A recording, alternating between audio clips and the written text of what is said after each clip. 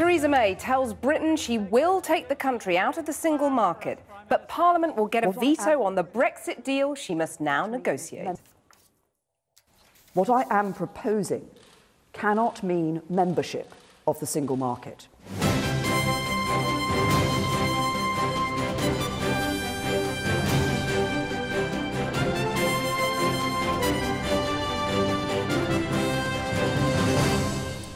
Good evening. Speaking from the very same building where Margaret Thatcher extolled the virtues of the single market, Theresa May vowed to leave it, but to negotiate the best possible access to it.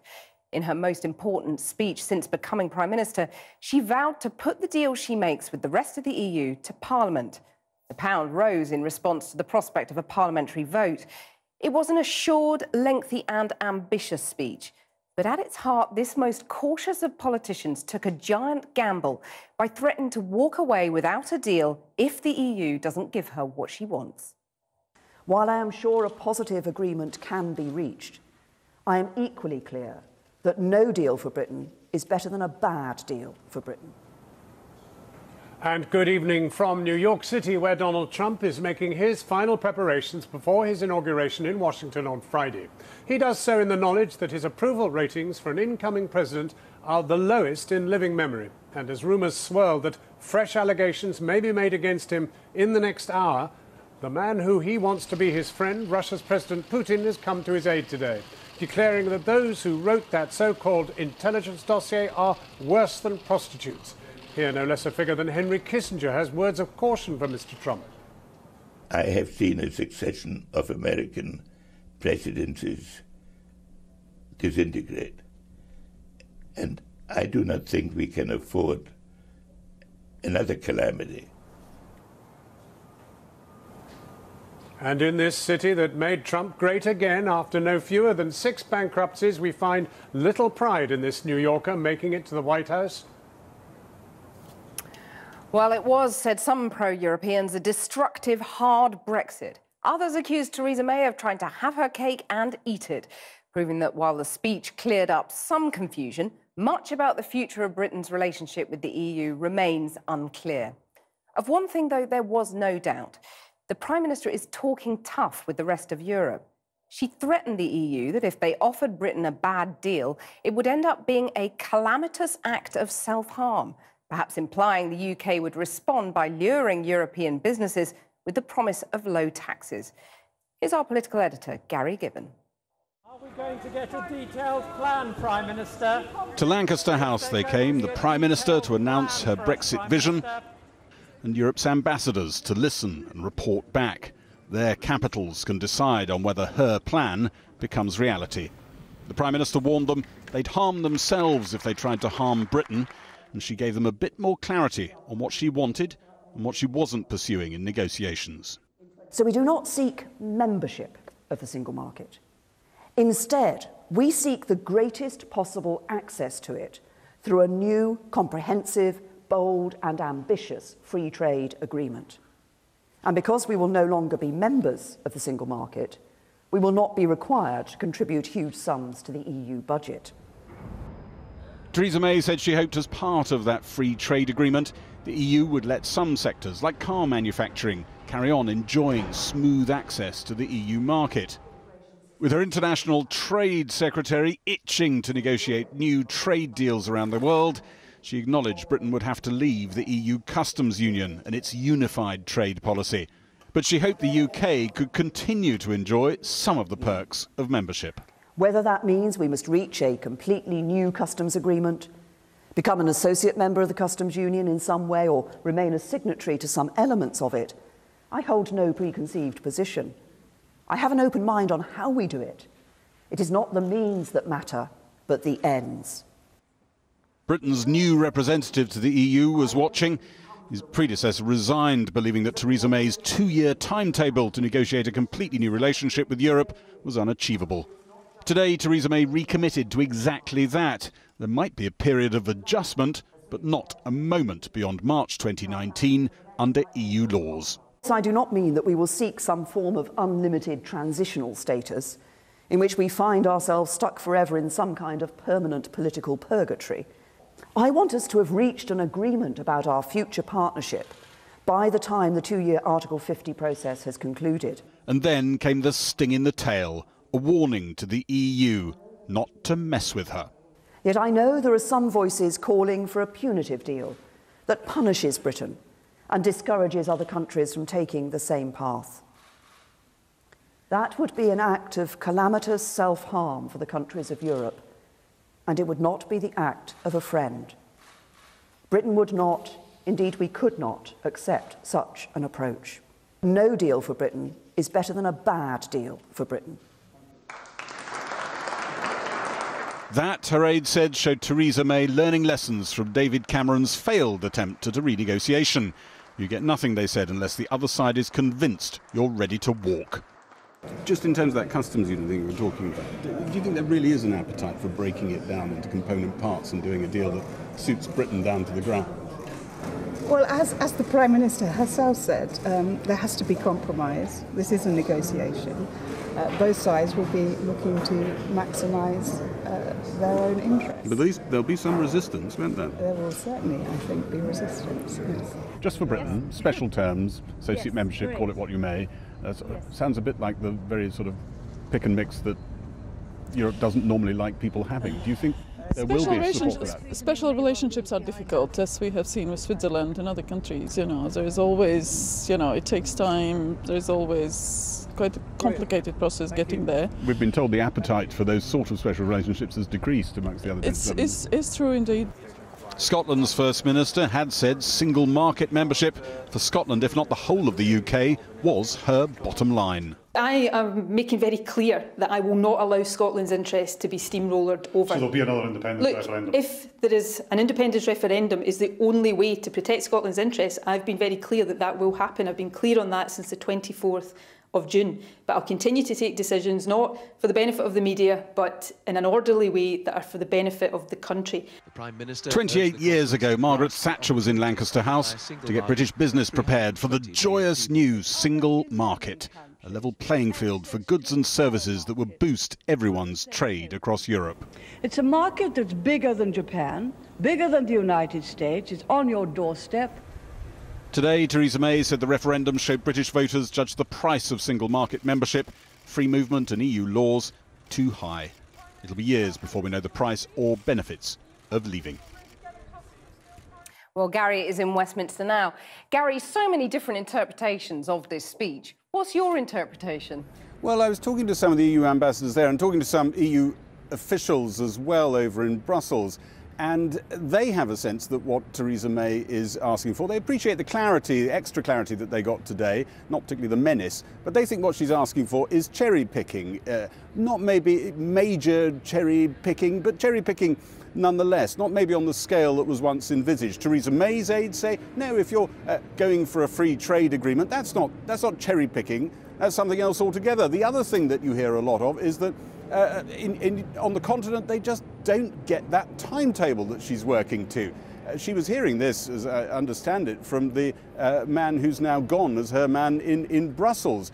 Two years to not only negotiate your way out of Europe, but to negotiate a new relationship uh, and to get that ratified across Europe that just is too tight, they all say. One official said to me, not possible. Another one said it doesn't make sense. Very unlikely this is possible at all. Among, amongst the Brexiteers, they're pretty euphoric for the most part.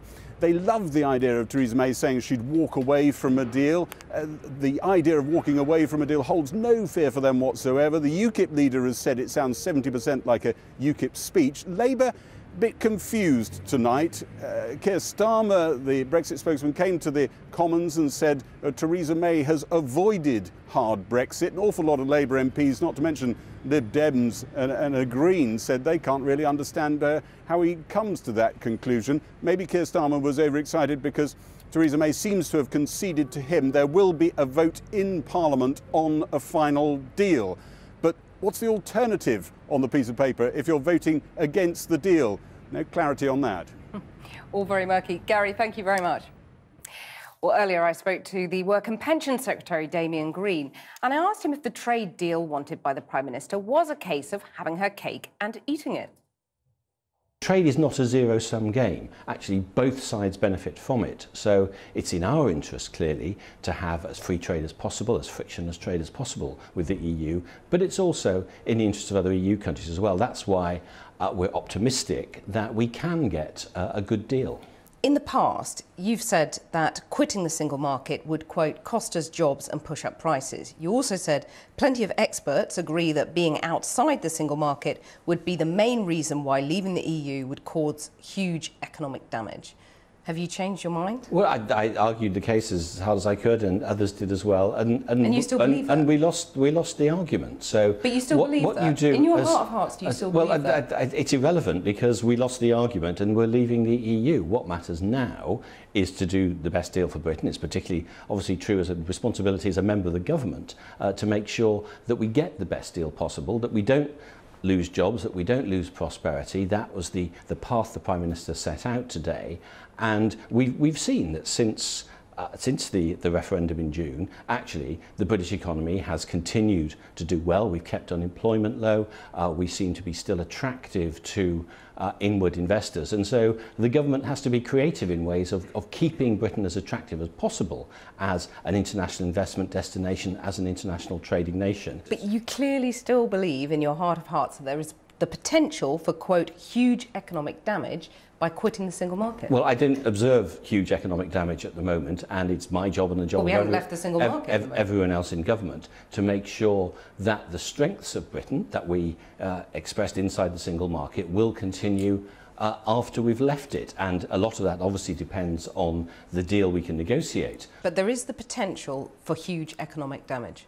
Well, that's what we're trying to avoid. And so far we've not seen that. So because it seems we haven't to me, left the single well, market. We yeah, but, but also it's, it's not just that. I think it's, it, it's fair to point out that even though people know we're now leaving the EU, big international companies like Google and many others in, in different sectors, both manufacturing and service companies, are saying, no, we want to base ourselves in Britain, and more people are doing that. So it shows that the suite of attractions that Britain has are with, you know, with our laws, with our deregulated economy, uh, with our infrastructure, with our skills, we can make ourselves attractive. You, in the past, have said that any British government could expect to spend at least 10 years trying to renegotiate ourselves back into a position in which we had, would have any kind of reasonable access to our largest export market. Well, we've, we've, we've got the two-year period after uh, Article 50 is invoked uh, by the end of March. And, and then one, another eight years. And, well, one of the important points uh, the Prime Minister made today was that we, we, we might need, in some areas, an implementation phase. The phased um, I, renegotiation. Yes, and, and that will be probably different amounts of time for different uh, parts of, of the change. But for, could that be eight years? No, I, it... I, I think, I mean, obviously, we, everyone wants this to be as quick as possible, you know, particularly business, they don't want certainty. The thing that business really wanted to know was that there wasn't going to be a cliff edge, um, that suddenly at, at the end of two years or whenever, uh, everything had to change overnight because that's difficult for government and it's difficult for business. So one of the points the Prime Minister was making today was that we'd have this implementation phase to avoid that cliff edge. But that implementation phase could go on for many years. I, I, I, I doubt that, and obviously it's, it's in everyone's interest for that not to happen. Damian Green, thank you very much. Thank you. Well, I'm joined now by the Shadow Foreign Secretary, Labour's Emily Thornberry. Um, so, is it a hard Brexit or not? Um, Labour seems rather confused. Perhaps you can enlighten us. Oh, I wish we could. I wish we could. I think that there are still, you know, so many questions arising out of this speech. If, for example, she says that she wants us to not be in half, half in Europe and half out of Europe, she wants us to be out of Europe, and yet she talks about being in a customs union. And then she says, well, she doesn't mean customs union as anybody else understands customs union. She's going to do her own customs union. She's going to have her own deal. She says that we're going to be a great trading nation. And yet she seems to want to walk away from the biggest bloc with whom we give trade. I mean, and so it goes on. There are so many questions. One thing that is clear is that she says, unless I get what I want, I threaten you with this. And okay. you don't threaten someone with something you're not prepared to do. And what they're threatening the European Union with is pretty bad, but actually it's even worse for Britain what it is that she's threatening. OK, but the other thing we know for certain is that the UK is pulling out of the single market. Now, Jeremy Corbyn in November said that quitting the single market was his bottom line and that he'd trigger a general election if that happened. We have to have a deal which looks after our economy first and foremost. And what she's saying is, she's kind of touching all the right buttons in terms of today. She's saying, you know, I want to have, I want to have full access to the single market. I want it to be unfettered. I want it to be tariff-free. But she's she quitting the single market, things. which was exactly. Jeremy Corbyn's bottom line. Well, she's but so he'll trigger a general election. No, but effectively, she's saying by what she said in her speech. I'm sorry, but I appreciate this is confused, but it, you know, it's her speech I'm trying to react to. She says that she's leaving the single market, and yet she's keeping all the good things she claims from the single market. And she says, and let, do let me make this point, Cathy, that unless she gets that, she threatens Britain with a deregulated race to the bottom where she's going to try and attract lots and lots of other companies by asking them to pay hardly any tax at all, okay. which will completely change accept... Britain for the worse. And okay, I accept, I accept your point about the ambiguity really... of the speech, but you're also ambiguous in your position. I mean, Jeremy Corbyn was quite clear that quitting the single market was a bottom line. Will you at the least vote against this deal to quit the single market in Parliament? What we're going to try and do is we're going to try and push this government into making sure that we have to leave the we have to leave the European Union. That's what the British people have asked us to do. But we have to get the best possible deal, which means looking after the economy first. And we think that having proper access to the single market is absolutely got to be a bottom line. There must. But be... you're not you're, you're pedaling back from uh, voting against um, quitting the single market. No, no, no. We have we have not said that we're going to frustrate leaving the European Union. We will be voting for you know for triggering Article 50. But, but you don't know which, whether you're going to vote for quitting the single market. But the but the things that concern us from today is she still doesn't answer our questions. But she has said, unless I get everything that I want, I am going to turn Britain into an entirely different type of country. I mean, you know, Hammond said it and then she said it today. I don't think we should gloss over this. And what it means is it means that people, corporations will be paying hardly any tax, will be like some sort of Cayman Islands or some form of Singapore. And, you know, hard on the heels of not paying any tax will mean you know, if we were to go down to the same level of, of corporation tax as other countries, we would be losing 100 billion pounds. That would be taken out of public services, and then we would have to deregulate the labour market, and so it would go on. This okay. is a race to the bottom. We've been talking about everything that hasn't been clear about the speech, mm. but the other thing that was crystal clear was that controlling immigration is more important to this government uh, than membership of the single market your position on immigration is still somewhat confused, isn't it? So I just want to see if I can get clarity on that. Well, let, let, is let me, let me EU just... migration okay. too high? So, so the first... Is EU migration too high to the uh, UK? So the first thing... No, no, I just want clarity on yeah, that point. The first thing the government has said is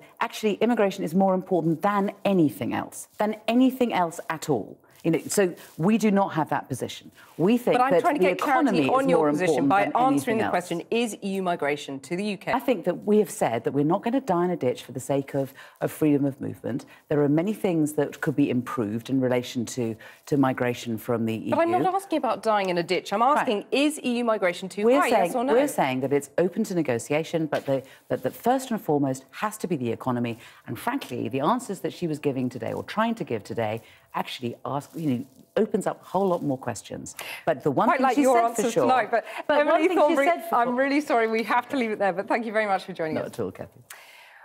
Well, Theresa May's Brexit speech saw a surge in the pound as the markets, which had been preparing for a hard Brexit, responded to the removal of uncertainties and the promise of a parliamentary vote.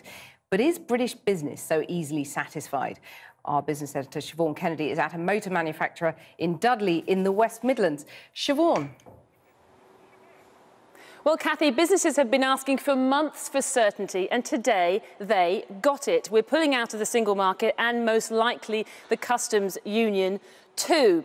They know, if you like, that we're headed for the door. They got that certainty. It's just that they have no clue what's on the other side of that door. And I think it's that that businesses still find very daunting, despite those reassuring words from Theresa May today.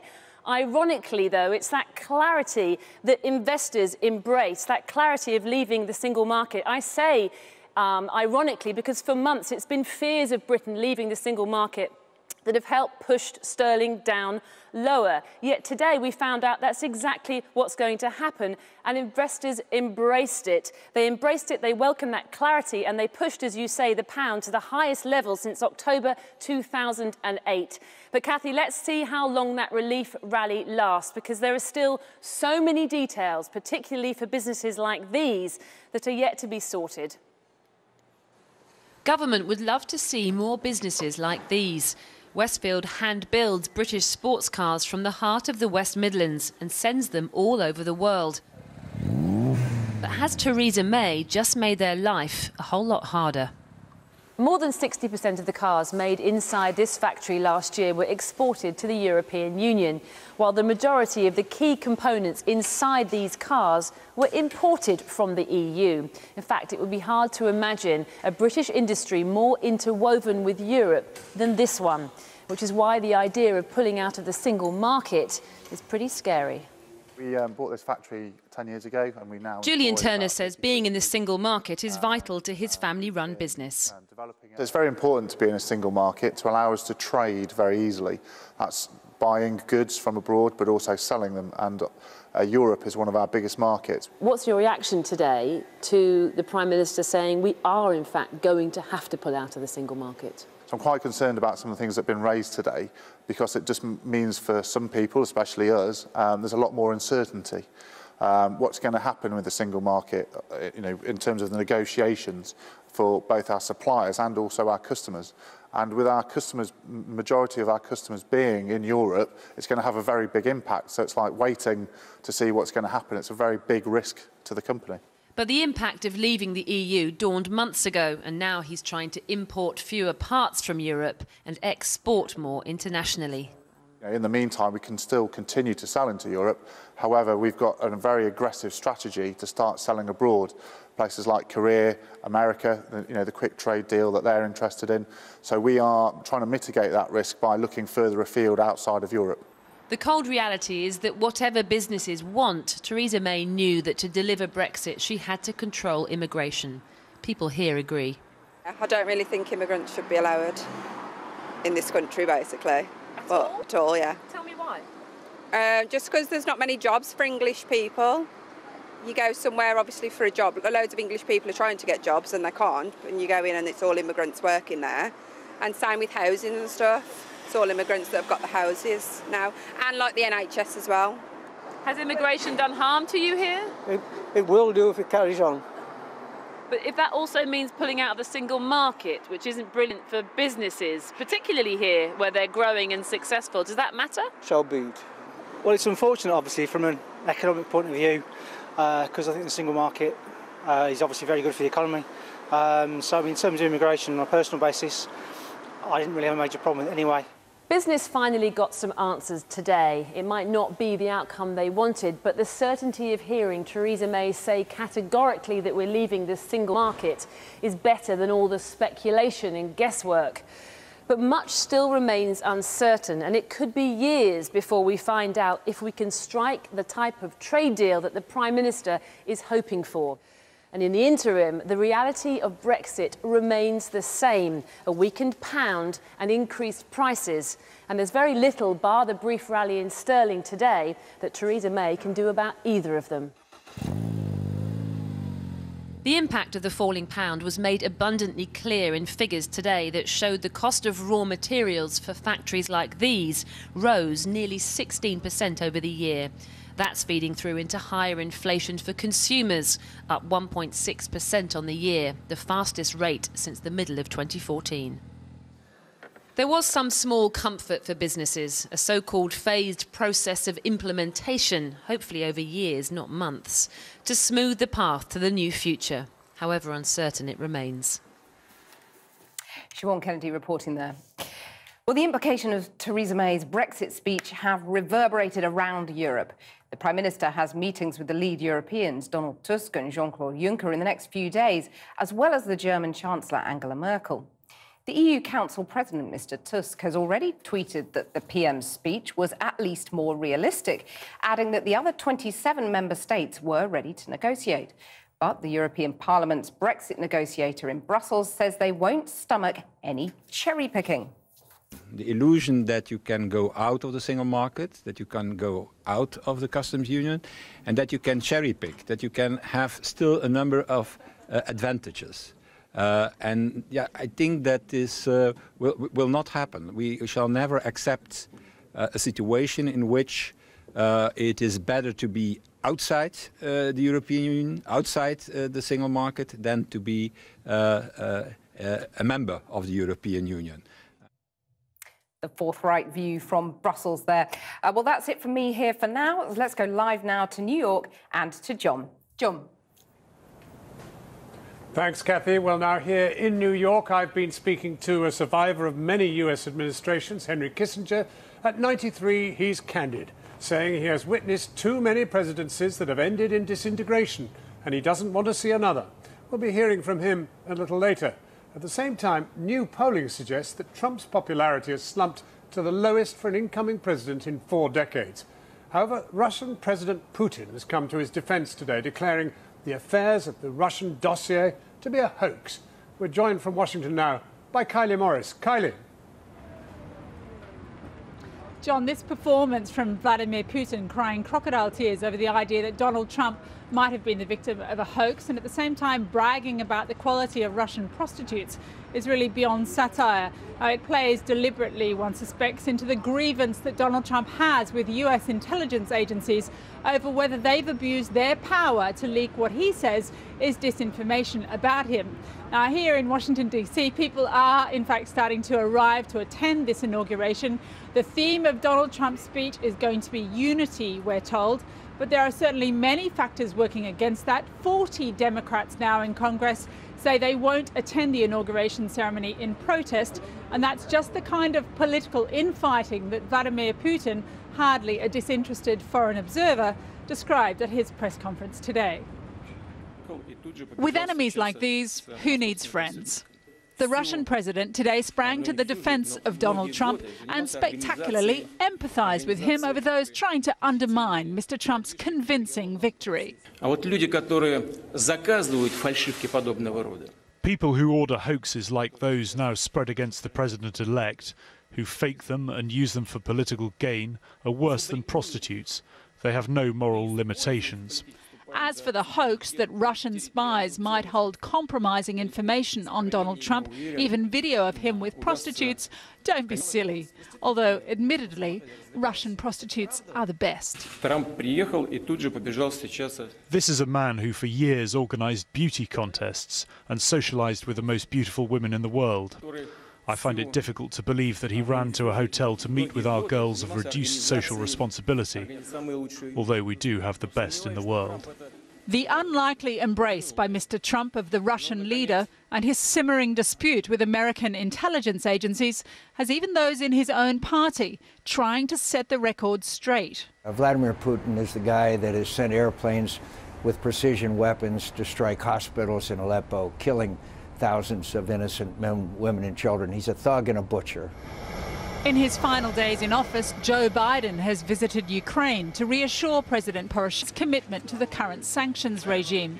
It's hard to hear, but when he's asked whether the next administration would make Ukraine a priority, the vice president replies, Hope springs eternal. Hope springs eternal.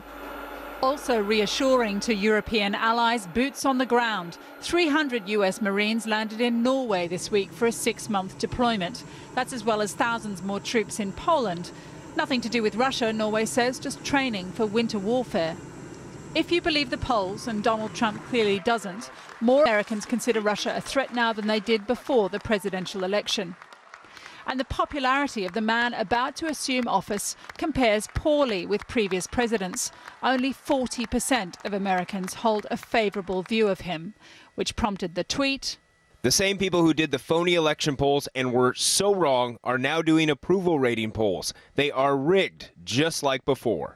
A mint in Russia has released a coin with his likeness, imprinted on the back the words, In Trump we trust. But at home, the next president still must persuade a majority of Americans they can do that. Kylie Morris in Washington. Well, here in New York, I earlier was talking with Henry Kissinger, the U.S. Secretary of State under Richard Nixon and Gerald Ford. He's remained an influential, if sometimes controversial, voice of U.S. diplomacy over the intervening decades. He is a long-standing confidant of President Putin and a recent backer of Donald Trump. I began by asking him about the relationship with Moscow and President Putin. Could he envisage a breakthrough? Well, I have argued for several years that a fundamental dialogue with Russia is essential. And I believe it is extremely important I do not put the same emphasis on personal relations that some of the media do. But I mean, Gorbachev, Gorbachev and Reagan had chemistry. Do, can you see Trump and Putin having chemistry? You know each of them. I mean, do you see them as potential? I know each of them. I can imagine them having chemistry. Uh, but my perception would be that Trump's approach is that of a negotiator of a deal. Uh, Putin's approach is that of a strategist attempting to define a new position for Russia. Have you enjoyed uh, Mr. Trump's tweets? And should he go on tweeting once he's president? Uh, I think they're, they're amusing. They're psychologically very perceptive when he talks about personalities.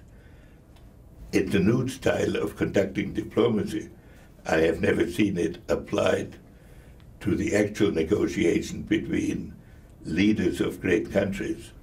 And so I reserve judgment on that.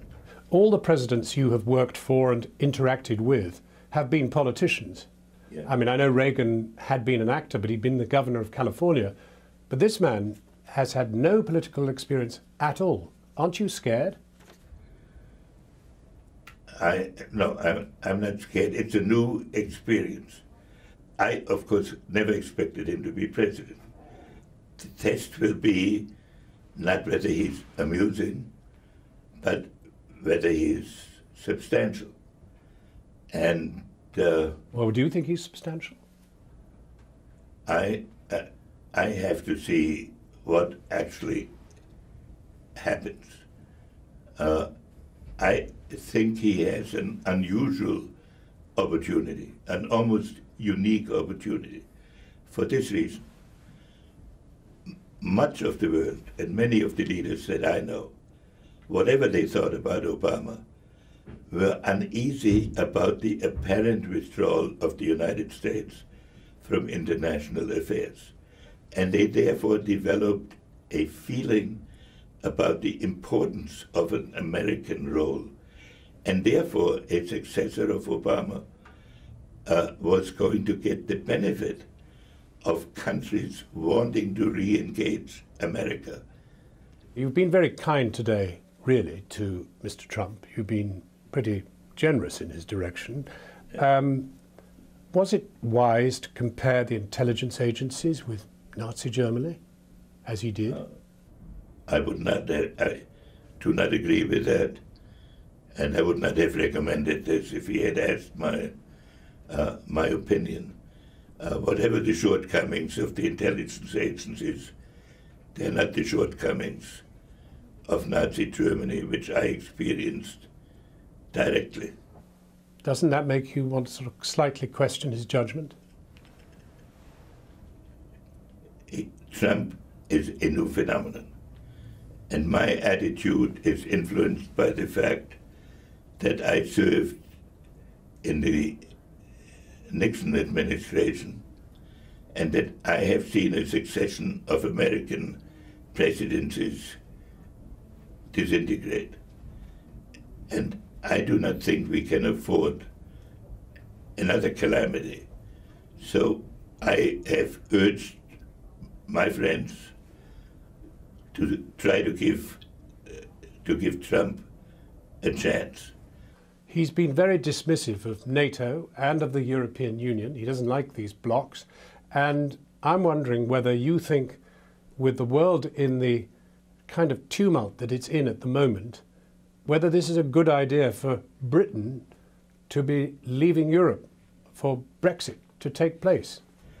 Uh, I thought that in the world that is emerging, an autonomous Britain can play an unusually creative role. It gives Britain an opportunity to play its unique role as a bridge between America and Europe and to stay in Europe on matters in which it can make its unique contribution while still acting in a dis historically distinctive manner.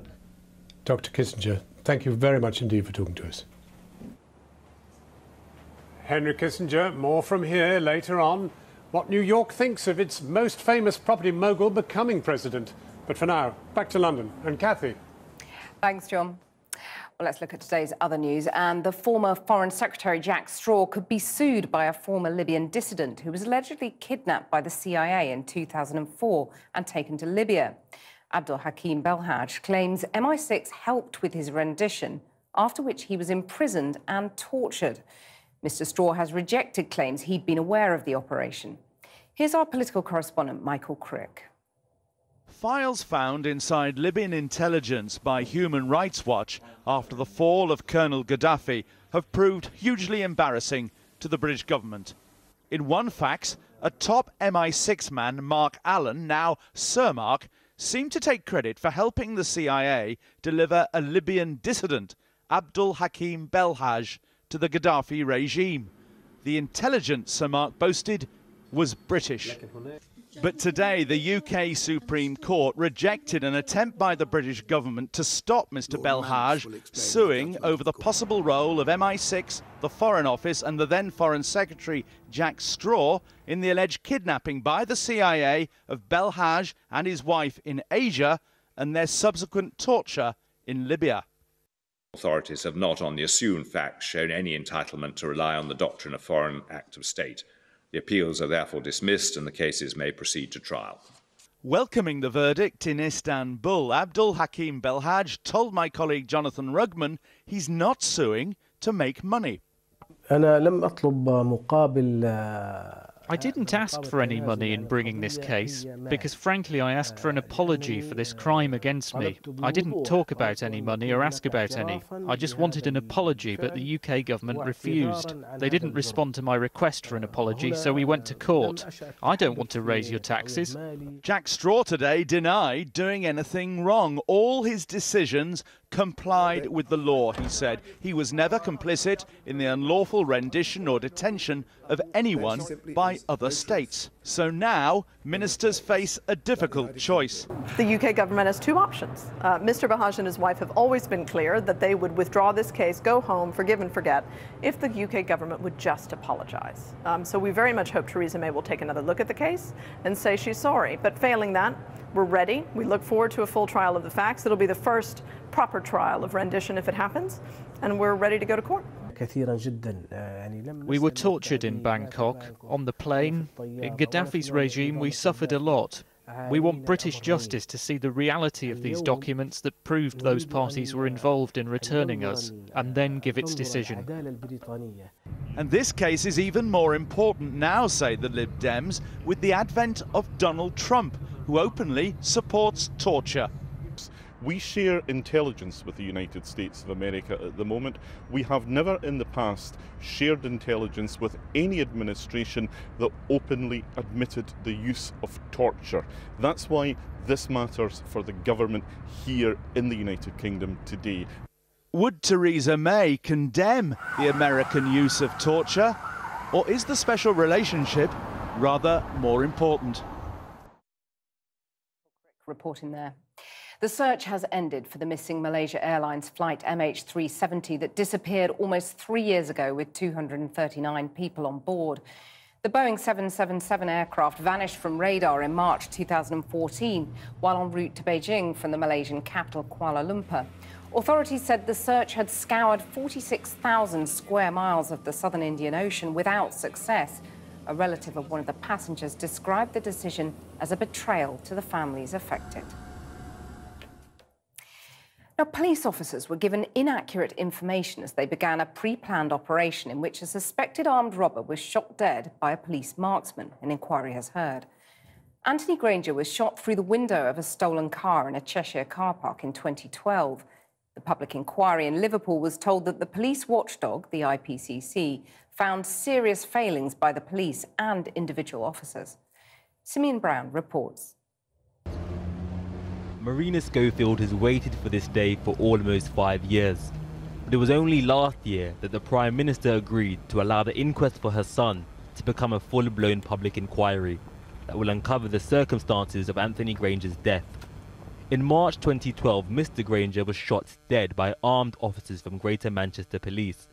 The officers suspected Anthony Grainger of being part of a plot to commit armed robbery. The car he was sat in was stolen, but Anthony Grainger was not armed. No guns were ever recovered or found at his home. For months he'd been under surveillance as part of Operation Shine. An investigation the Independent Police Complaints Commission has criticised. On day one of the inquiry, the court heard claims of police failings. Following the shooting, the Independent Police Complaints Commission launched an investigation. That report has never been made public, but the inquiry heard it found the operation relied heavily on out-of-date intelligence and that briefings to officers were not only flawed, but contained inaccurate information. And those were not the only problems of an operation that cost Anthony Grainger his life. Today, the court heard that of the five GMP officers in command, there were occupational competency problems with four of them, some described as significant. But the officer who took the fatal shot maintained he had clear justification and that he believed at that moment his life was in danger. Today, the court heard that the officer known only as Q9 was adequately trained. But for the loved ones of Anthony Grainger, their concern rests on the officers in command. I'm really glad that the inquiry has started to make progress now. I'm quite concerned on about the fact that a lot of the senior officers don't didn't have the relevant training for the positions that they held. And one thing I want to get out of it is some answers as to why Anthony was shot. Today, Anthony Grainger's mother left court after hearing how a high-risk police intervention became fatal. The inquiry will last four months, and some part will be heard behind closed doors, as it forensically considers not only any police failings, but if the life of Anthony Grainger could have been saved. After the break here in New York, the views of the city about one of its own, Donald J. Trump, and those of the editor of Vanity Fair, Graydon Carter.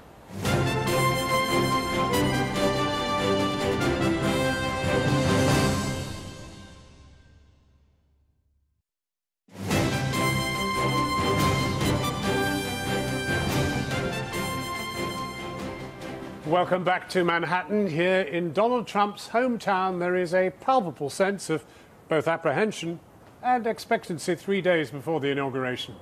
This city may not have voted for him en masse, but there's a recognition of the business qualities that a seasoned New York real estate mogul can bring to the role of commander in chief.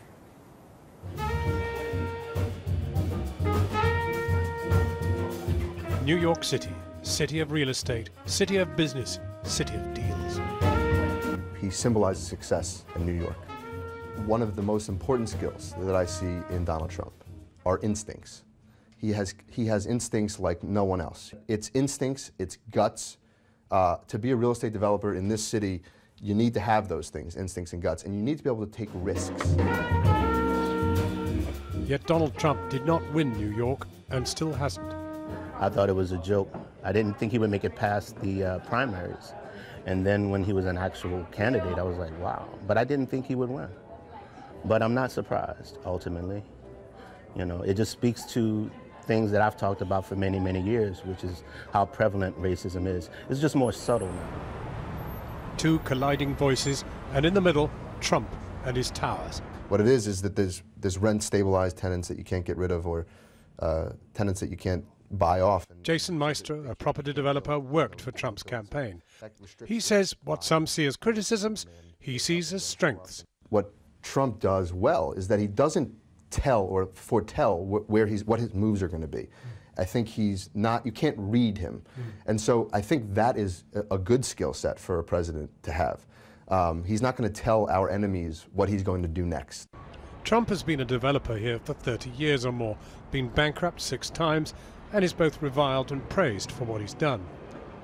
New Yorkers escape the real estate spats and the skyscrapers by strolling above the busy streets on the High Line, the garden walk that has replaced the city's overhead railway. He isn't the person I voted for, but as Americans, we have to come together and we have to try and help anybody in office. That's what the American way is. Well, we're waiting to uh, observe and survive. We're wondering how you're feeling about your president to come on Friday. Not very good. Why so, sir? Well, I'm uh, I'm, I'm shocked that America has elected a president like Trump. He's really does not represent most Americans. I'm an American woman, and it, it's hard for me to understand how any woman can be in support of a man who is blatantly sexist and actually misogynist. You're not worried about him? No, I'm not worried about him at all. Did you vote for him? I did vote for him. And you're pleased you did? Uh, out of the choice that I had, yes. No, I love the show. Yeah. Show's about to start. Back at Trump Tower, the red lights of the Gucci store on the ground floor mingle with the flashing blue police lights standing guard outside. The band may be playing on at New York's Lincoln Center, but in doing so, it cannot drown the reality that this country is on the cusp of a journey like no other.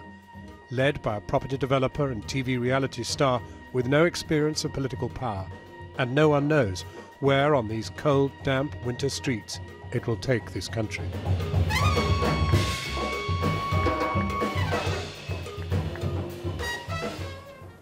New Yorkers on Donald Trump's accession to the presidency. Well, earlier tonight we heard the views of Henry Kissinger, but I've also been speaking with Graydon Carter, the nemesis of Mr. Trump, a man who's been chasing Trump for about 10 years trying to find out more about him. He's the editor of Vanity Fair magazine, and I asked him what sort of president he thinks Trump will make. Well, you sort of want him to be a great president because the country could use that now. I just don't think he has the capacity or the the skill set to do that. And I think the first people that will realize that will be um, the people who supported him. I can't see what he's going to do with it, uh, for them, given the people he has surrounded himself with. His ratings are looking terrible. I mean, uh, can he get himself up again?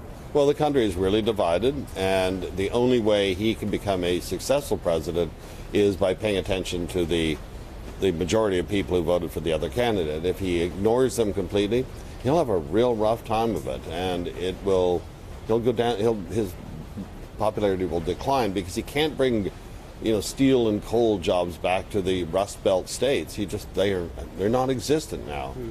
So he will. He's made a lot of promises, and he'll have trouble filling 50 percent of those, I suspect. One of the issues is that we thought the nearer the presidency he got, the quieter he'd become, but it's been quite the reverse. You don't know him that well. He, he is incapable of being quiet. I think. I, uh, um, I know a friend. Taught, you know, if you, I've had dinner with him, and he's sort of entertaining in his own way. He never stops talking throughout dinner. There's nobody else gets a chance to to say anything, and I think it's going to be that kind of administration as well, where he is the the front man for every major decision. Well, in, in spite of the friction between you, I mean, he never liked the fact that you talked about his small hands and all the rest of it. You have been to see him recently, and I know that talk was off the record, but how did you find it? He came up to Condé Nast to talk to a number of editors, and it was off the record, which I thought we shouldn't have done it, or just not done it altogether. But he was he was very much in character. You know, we used to have an expression describing him at Spy magazine in the '80s as he as a hustler on his best behavior. He um, he was uh, he tried very hard to win the room and I'm not sure he succeeded. There is something pretty good in this for you, because after all, your magazine has put on figures ever since Trump got this close to the White House. Well, we reviewed a restaurant that's in the in Trump Tower. It's called the Trump Grill. I didn't even know it existed until recently, and uh, we called it maybe the worst restaurant in America. And he tweeted that morning that mag- the Vanity Fair was in trouble, that the numbers, our numbers were off, and then I was a complete loser, and I was going to lose my job. And so we put this as a banner across our website, and we got 80,000 subscribers in 10 days, which is a hundredfold over what we normally get during that period. But one thing's for sure, a president cannot go on feuding with the media the way Trump has. Well, they're not taking away his cell phone and or his Twitter account, and he's like a he's like a child. He's going to continue doing it. He, you know, the, this past week, just uh, attacking two of the the most respected Americans you can find out there, Meryl Streep and uh, John Lewis, a, a, an icon, a living icon of the civil rights movement. That he would take after people like that, it means that like nobody is off limits. How long do you think he'll last? I mean, as, as president or as Yeah. a person? Well, president. Um, I'd be surprised if it goes the full term, but I'm not good at predicting um, when it comes to Donald Trump.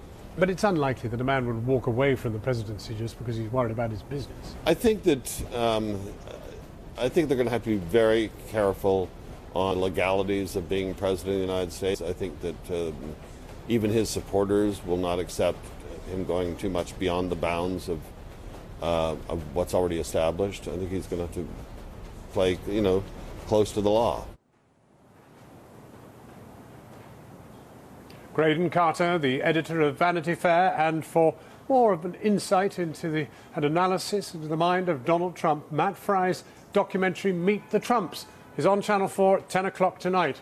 Now, while we've been on air, there's been extraordinary development in Los Angeles. We don't know exactly what it is, but uh, it, it, it has something to do with sex and an allegation. So I want to go to Kylie in Washington. Kylie, what do you make of it? Well, Jon, this is what we know so far. Gloria Allred, who's a very high profile lawyer who normally acts on behalf of victims of sexual assault or sexual abuse, is about to hold a press conference. Uh, she has said that at that press conference, she'll be introducing a woman who accuses Donald Trump of sexually inappropriate conduct. We don't know whether this is someone who's made these kinds of allegations before against Donald Trump or whether these are fresh allegations. Um, so that is due to happen soon, we're told in Los Angeles. Certainly, uh, after that reality TV tape came out where Donald Trump appeared to be bragging about sexual assault, there are as many as a dozen women who made public their claims or their stories that they had been sexually assaulted or sexually harassed by Donald Trump. He has always denied uh, those claims and has admitted and apologized for the kinds of behaviors uh, that he described in, uh, in that reality TV tape about the things that you can do to women uh, when you're famous. Uh, we don't know exactly the specific Kylie, nature Kylie, we can of actually the, the see, claims that will be made Kylie, today. Kylie, Sorry, we can on, actually see live pictures coming from Los Angeles now. There we now see the woman coming into the room uh, at the press conference, and it's about to begin. With that frustrating thought, we're going to have to come away from that story. It'll be online later to, from the Channel 4 News website. Now, that's all from here tonight in New York and Washington, but we'll leave you with a reminder of a different kind of America, one that arguably looked rather more outward and upward. The astronaut, Gene Cernan, has died aged 82. He was the last person to step foot on the moon. Following his lunar explorations, the American spaceman said he knew he knew no longer belonged solely to the Earth, but will forevermore belong to the universe. Here he is, in his own words, for a film he made about his life called The Last Man on the Face of the Moon.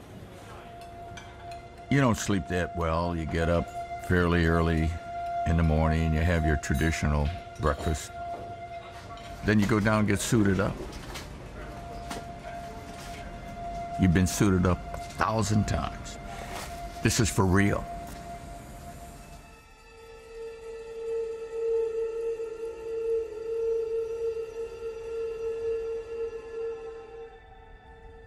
I was out there somewhere with the opportunity to see something and be somewhere and do something that only 12 human beings in the history of mankind have been able to do or be or see.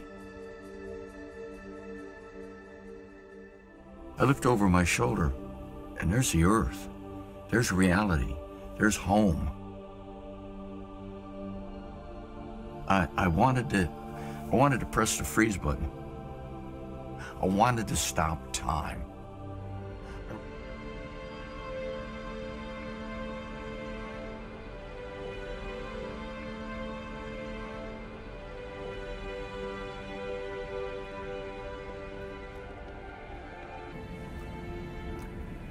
Is that is that in there with my name on really me?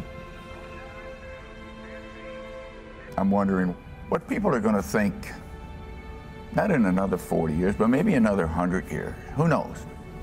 Maybe another thousand years.